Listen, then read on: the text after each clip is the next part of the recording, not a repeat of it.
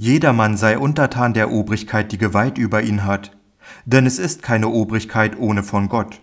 Wo aber Obrigkeit ist, die ist von Gott verordnet. Wer sich nun der Obrigkeit widersetzt, der widerstrebt Gottes Ordnung.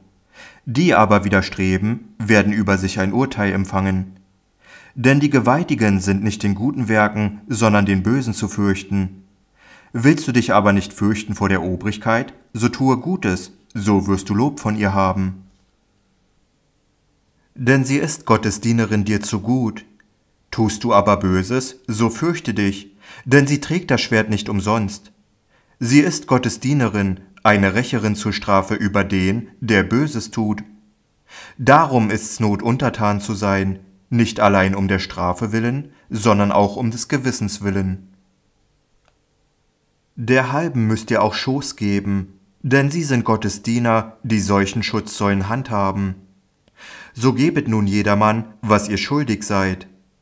Schoß, dem der Schoß gebührt, Zoll, dem der Zoll gebührt, Furcht, dem die Furcht gebührt, Ehre, dem die Ehre gebührt. Seid niemand nichts schuldig, als dass ihr euch untereinander liebet, denn wer den anderen liebt, der hat das Gesetz erfüllt. Denn was da gesagt ist, du sollst nicht Ehe brechen, du sollst nicht töten, du sollst nicht stehlen, du sollst nicht falsch Zeugnis geben, dich soll nichts gelüsten, und so ein anderes Gebot mehr ist, das wird in diesem Wort zusammengefasst. Du sollst dein Nächsten lieben wie dich selbst. Die Liebe tut dem Nächsten nichts Böses, so ist nun die Liebe des Gesetzes Erfüllung. Und weil wir solches wissen, nämlich die Zeit, dass die Stunde da ist, aufzustehen vom Schlaf, sintemal unser Heil jetzt näher ist, denn da wir gläubig wurden. Die Nacht ist vorgerückt, der Tag aber nahe herbeigekommen, so lasset uns ablegen die Werke der Finsternis und anlegen die Waffen des Lichtes. Lasset uns ehrbar wandeln als am Tage, nicht in Fressen und Saufen, nicht in Kammern und Unzucht, nicht in Hader und Neid, sondern ziehet an den Herrn Jesus Christus und wartet des Leibes, doch also, dass er nicht geil werde. Den Schwachen im Glauben nehmet auf und verwirret die Gewissen nicht. Einer glaubt, er möge allerlei essen, welcher aber schwach ist, der ist Kraut. Welcher ist, der verachte den nicht, der da nicht ist. Und welcher nicht ist, der richte den nicht, der da ist, denn Gott hat ihn aufgenommen. Wer bist du, dass du einen fremden Knecht richtest? Er steht oder fällt seinem Herrn, er mag aber wohl aufgerichtet werden, denn Gott kann ihn wohl aufrichten. Einer hält einen Tag vor dem andern, der andere aber hält alle Tage gleich. Ein jeglicher sei in seiner Meinung gewiss.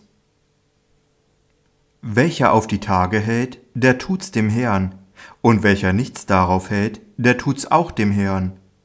Welcher ist, der ist dem Herrn, denn er dankt Gott. Welcher nicht ist, der ist dem Herrn nicht und dankt Gott.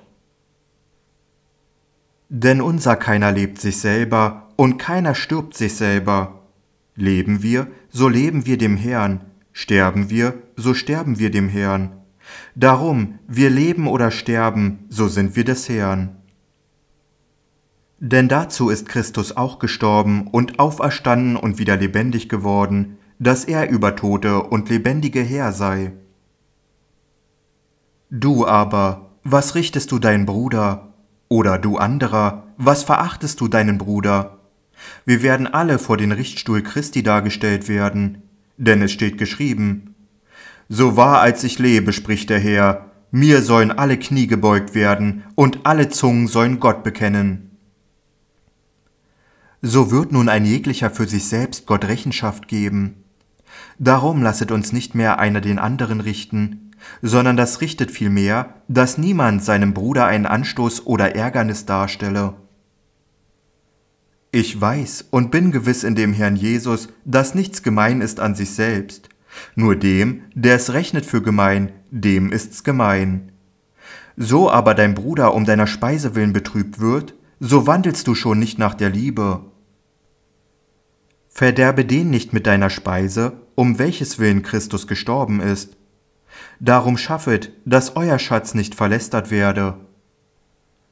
Denn das Reich Gottes ist nicht Essen und Trinken, sondern Gerechtigkeit und Friede und Freude in dem Heiligen Geiste. Wer darin Christo dient, der ist Gott gefällig und den Menschen wert. Darum lasset uns dem nachstreben, was zum Frieden dient und was zur Besserung untereinander dient. Verstöre nicht um der Speise willen Gottes Werk. Es ist zwar alles rein, aber es ist nicht gut dem, der es isst mit einem Anstoß seines Gewissens. Es ist besser, du essest kein Fleisch und trinkest keinen Wein und tuest nichts, daran sich dein Bruder stößt oder ärgert oder schwach wird. Hast du den Glauben, so habe ihn bei dir selbst vor Gott. Selig ist, der sich selbst kein Gewissen macht in dem, was er annimmt. Wer aber darüber zweifelt und ist doch, der ist verdammt, denn es geht nicht aus dem Glauben. Was aber nicht aus dem Glauben geht, das ist Sünde.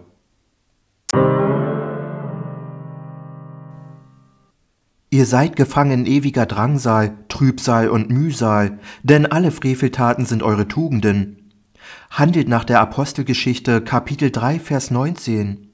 Kehrt um und tut Buße, damit eure Sünden getilgt werden. Nur so wird die ewige Bedrängnis, Betrübnis und Beschwernis enden.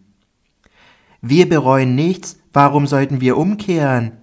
Wir sind nicht schuld, wofür sollten wir büßen? Bestelle das Fibelheft kostenlos und versandkostenfrei auf fibelzeit.de